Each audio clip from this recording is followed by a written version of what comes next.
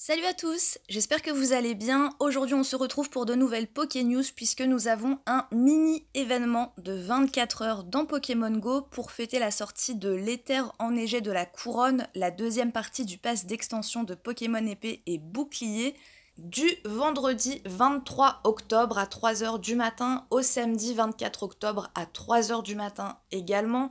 Nous avons Canartichaud de Galar qui est de retour dans la nature. Il avait déjà été disponible par le passé.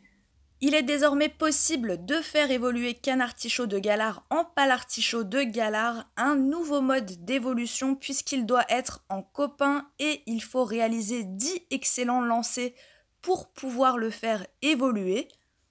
Si vous changez de Pokémon copain, le nombre d'excellents lancers réussis ne retombe pas à zéro.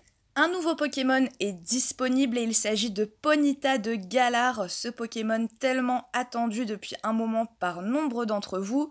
Il est disponible dans les raids une tête et à la fin de l'événement, Ponita de Galar et Canartichaud de Galar seront disponibles dans les œufs de 7 km. Enfin, pour accompagner cet événement, nous avons des nouveaux vêtements disponibles pour notre avatar, une casquette, une combinaison, des chaussures, et ces nouveautés sont gratuites, donc c'est toujours bon à prendre.